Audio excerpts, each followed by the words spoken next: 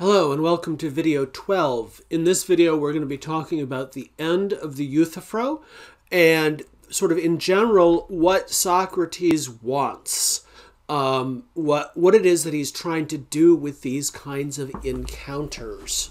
And um, it's here I think that we can see one of the biggest contrasts between Socrates and Plato and, and on the one hand and Confucius on the other. We get a really different sense of what uh, different kinds of philosophers they are, how they have different understandings of knowledge, and how they have different understandings of education in many ways. So, um, we can break the dialogue up into three sections based on what definition is being proposed. So there's a prologue and an early definition where Euthyphro is uh, merely uh, giving examples. He's not answering in the way that Socrates wants. The second definition is uh, the one that, that is given in the form that Socrates wants. Euthyphro says that piety is what is loved by the gods. This gets derailed in the discussion of the Euthyphro question. That is, do gods love things because they are whole, they are uh, pious, or are they pious because God the gods love them? Um, and so then we get this kind of scattered third section where they're dancing around the idea that piety is somehow attending to the gods or serving the gods. Um, and in the past, I uh, in the first video on Euthyphro, I suggested that we can understand a lot of the method here in terms of what philosophers call reflective equilibrium. Reflective equilibrium is a process of developing rules, um, and you develop these rules by balancing intuitions about particular cases against the rules that cover those cases. So um, it's the logic of definition making. And it's got this basic idea. You first you propose a definition, then you look for counterexamples. The counterexample could be something that got included by your definition, but that you actually want to exclude, or it could be something that was excluded by your definition that you wanted to include. And then if you find a counterexample, you either revise the definition or you revise your intuition about the individual example. So with the first definition of um, piety as prosecuting wrongdoers, um, it captures something that you might not think it you want it to capture, prosecuting family. But um, Euthyphro says, I'm going to st stick with my definition here that piety is prosecuting wrongdoers and change my intuition about the case and say that, that piety is not, uh, uh, or that piety really does include prosecuting family. Where he falls is falls away is with a different kind, kind of counterexample, things that were not in the definition that should be right? Um, praying and offering sacrifices. Oh, I'm one off on my subtitles here. Um, right? Um, so that leads him to revise that definition. Right? So the second definition captures everything that we want it to. It succeeds this basic step at reflective equilibrium um, Euthyphro can say this covers all the cases I wanted to and only the cases I wanted to. But it somehow fails to be logical. It doesn't have rich content the way that's, that, that Socrates wants. So that brings us to the third attempt, right? Um, and so the discussion questions I've got for this or what is the third attempt? How does Socrates undermine it? And then the final ones, which I which is where I think the real contrast with um, Confucius will come in, is um, at the end of the dialogue, have we learned anything? Right? Do the characters understand piety better? Do we understand piety better? Okay. So Euthyphro makes several attempts to um, talk about uh, pi- uh, piety in this third section. And the central idea is that piety is the part of justice that is concerned with attending to the gods. Um, so if you're offering sacrifices, um, you are offering prayers, you are offering praises to the gods, you are caring for the gods the way that slaves care for their masters. And this is actually defined as a, a subsection of a larger um, moral virtue, justice. And this, again, is a, an example of uh, Euthyphro giving a definition in the form, at least, that Socrates likes, because he likes to have things categorized, like this is a kind of that and that is a kind of the other. Euthyphro also likes this because he says that uh, this is a the this kind of this definition of piety it makes it a kind of knowledge specifically knowledge of how to pray um, and again euthyphro likes this because this allows him to reassert his status as a religious expert right he is someone who has knowledge that other people don't and that's why for instance he can see the future this is also a, a bit. Uh, this is also a bit that Socrates likes. Um, Socrates strongly hints in a lot of these early dialogues that all of the um, virtues that he's asking about wind up being some kind of knowledge. Um, that in fact virtue is knowledge of how to act or something like that, knowledge or wisdom. Uh, but that idea is never spelled out because the dialogues never spell out really what Socrates is trying to do fully at all. So we might think that this final attempt at a definition is um, a good one, right? But Socrates shoots it down if piety were attending to the gods the way that slaves attended to their masters, the gods would benefit from our service. But the gods are already perfect. Therefore, they cannot be benefited. Therefore, piety cannot be attending to the gods. Um, and at this point, Euthyphro is like, oh gosh, look at the time. I'm really tired of this game let's just I got to go to go, go to court, right? And this is uh, this is common for the ends of these early dialogues. Um, the, the uh, both Socrates and the person he's talking to walk away unsatisfied. So we've got some general questions here, right? Um, ha- has Euthyphro shown himself not to know what piety is?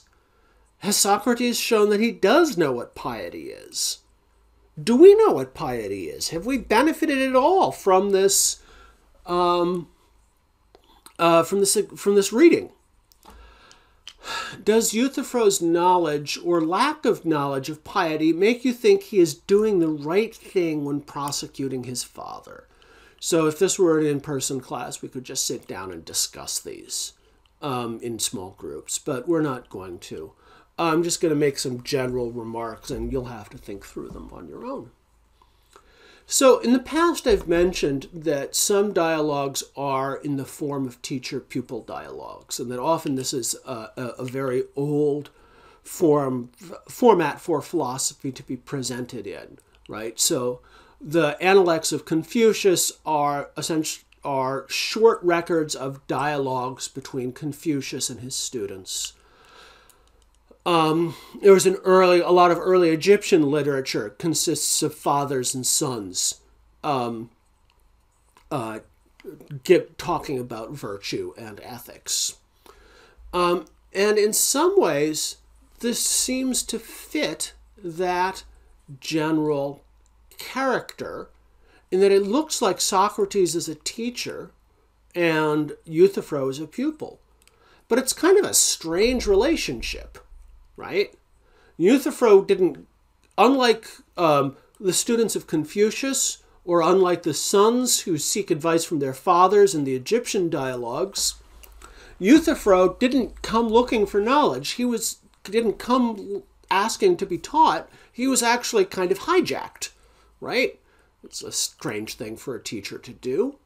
Um, and the other thing is that Socrates, throughout the dialogue, consistently insists that he doesn't know anything. This is different than Confucius. Confucius is always giving a sort of an honest self assessment of his state of knowledge. He says, you know, I know ritual, I know, um, uh, I know uh, propriety, I know how to honor the ancestors and parents, um, that sort of thing. I can talk about the eh, classic works of literature. I'm working on understanding real goodness, right? That's a kind of self assessment that he gives. Um, also, he still say things like, I'm about average at things like law and war, which is what other teachers would have said to be called themselves experts in at, at, at the time that he was working in. But he also think, seems to think that those aren't important compared to ritual um, and learning and that sort of thing. Uh, so Confucius gives an honest self assessment of himself as a knower and then uses that, bases his teaching on that. Socrates consistently says that he doesn't know things. Um, and so this happens, for instance, at the beginning of this dialogue, um, where uh, he says of his prosecutor Meletus, he's probably someone wise, and seeing how in my ignorance I corrupt people of this generation. He also is always talking, he always says to Euthyphro, Oh, you are so wise, you know, you obviously know a lot about religion, please teach me. So you have this strange inversion of a teacher pupil dialogue, where instead of a pupil going to a teacher who claims to know things and getting knowledge from them, the teacher says that they don't know anything and goes to the pupil and tries to get knowledge. So everything's reversed. Um, so I had mentioned that this um, the Socratic method is sometimes called the elenchus. Um, and this is actually the same word that's used uh, in Greek to describe courtroom cross examinations. And that's going to be significant um, because, of course, there's going to be a cross examination in, in, the court, in the court trial coming up. That also gives us a sense of what, um, what kind of um, conversation um, we Socrates seems to be having here.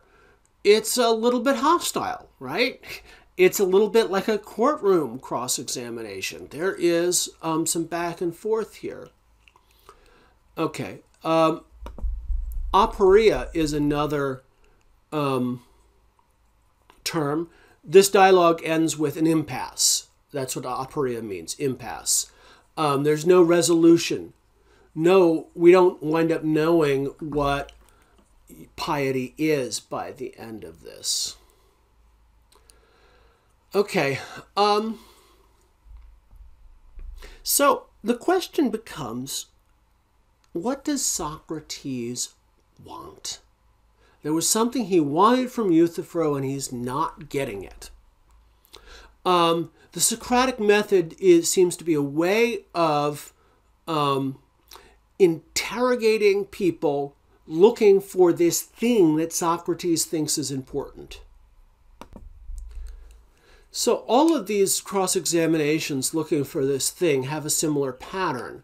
Um, he gets someone to assert a thesis, he asks them to clarify it, and then he brings out a way in which that clarification contradicts the original thesis.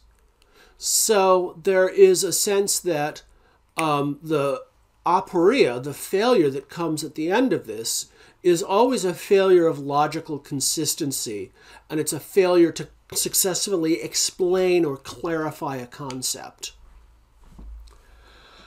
All right. Um, why? Why? How, how did this become a genre? Well, conversations with Socrates was a popular literary genre. There were dozens of writers who were recording these kinds of conversations.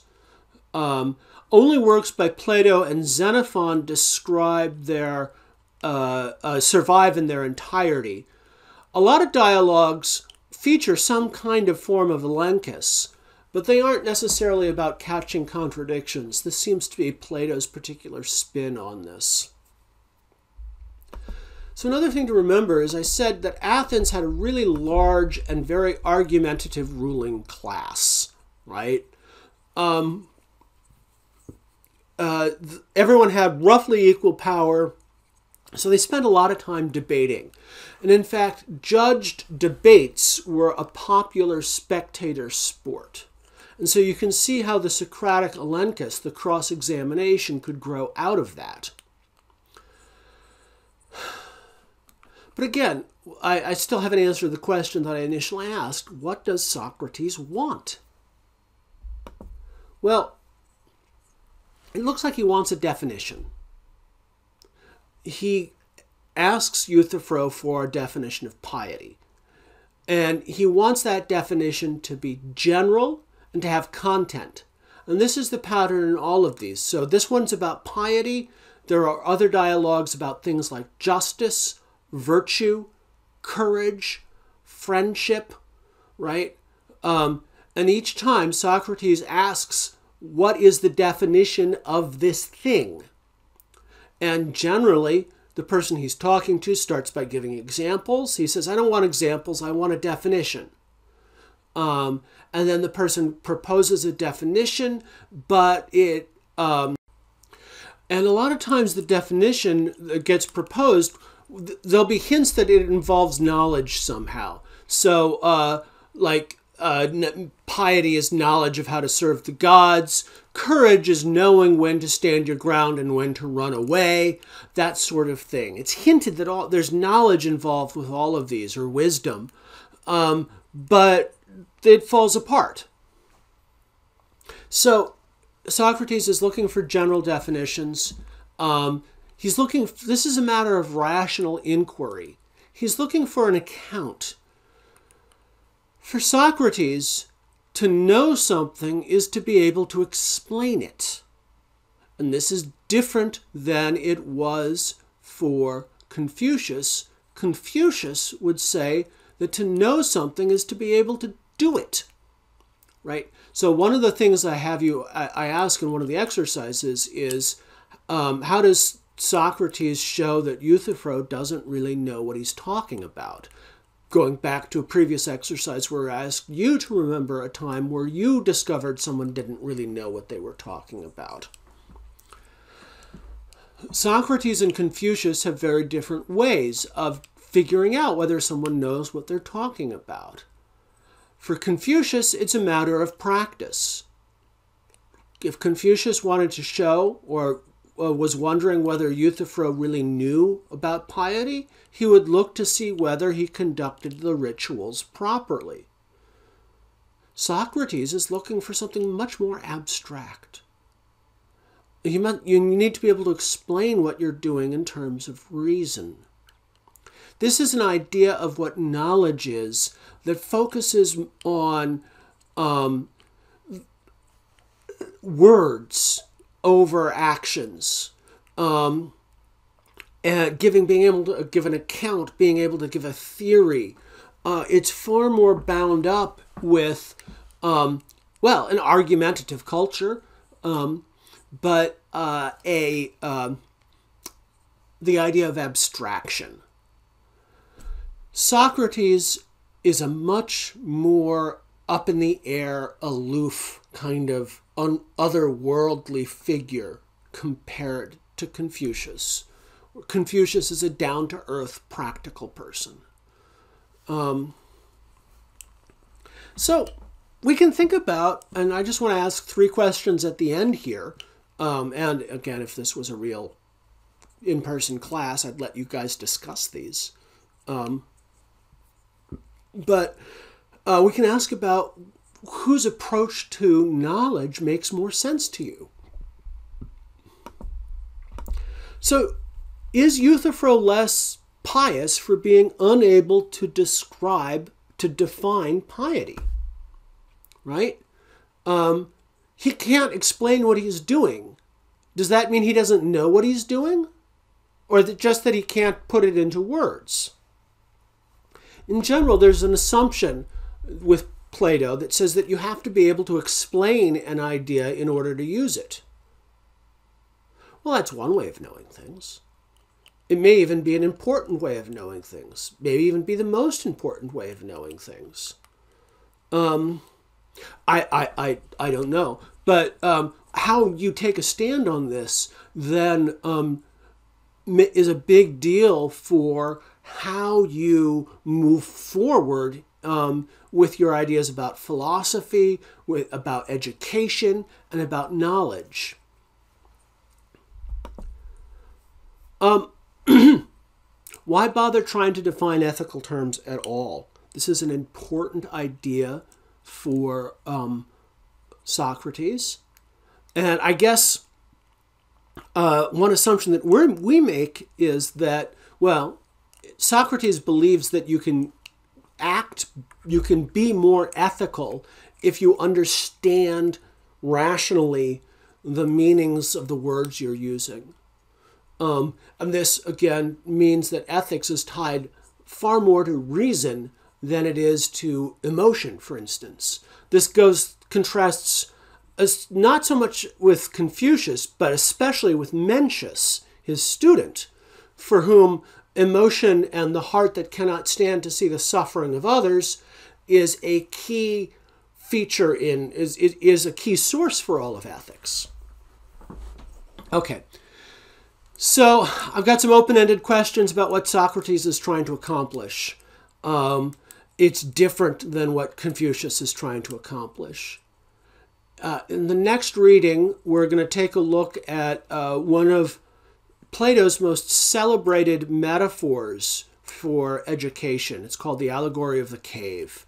Um, and again, we'll, we might get a sense of what this will help us get a sense of what it is that Socrates is looking for when he asks about the definitions or concepts or ideas of things in the abstract.